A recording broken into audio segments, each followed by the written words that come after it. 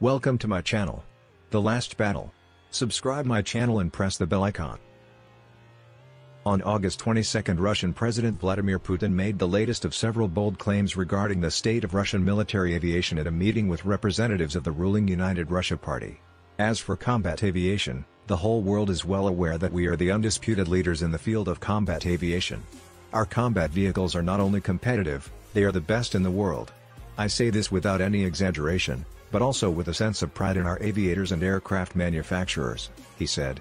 Elaborating on the history of the relationship between civil and military aviation, Putin stated that since the Soviet-era civil aviation was developed based on the needs for combat aviation, rather vice versa as was seen abroad, and that as a result often civil aircraft were military transport vehicles adapted for civilian purposes. He highlighted that this was the cause for historic difficulties in the Russian civil aviation industry, but claimed the situation had changed undoubtedly for the better. Russian civil aviation is becoming a part of world civil aviation.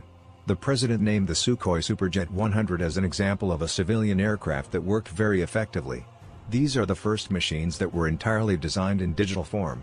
This aircraft is actively used and will be used in the future. But this is not enough, and now we need a medium-range aircraft, Putin added.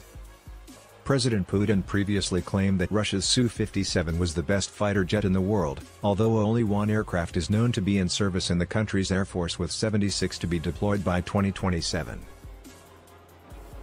If you want to watch more interesting and educational videos subscribe my channel and hit the bell icon. Thank you.